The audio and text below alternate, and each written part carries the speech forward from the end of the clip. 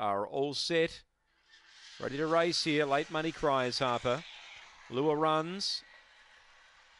Away, Cries Harper stepped brilliantly here and cleared them, led by a length and a half to Luca Flyer second, a length and a half to Cindy Moment to third, fourth Emily Giggler, too far back for mine.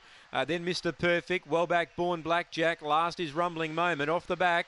Cries Harper by four and doing it really well. Luca Flyer runs on with Emily Giggler, but up front it's Cries Harper in front. She'll do enough. Now Cindy Moment's powered through in the middle and grabbed second. Luca Flyer third, Emily Giggler probably fourth.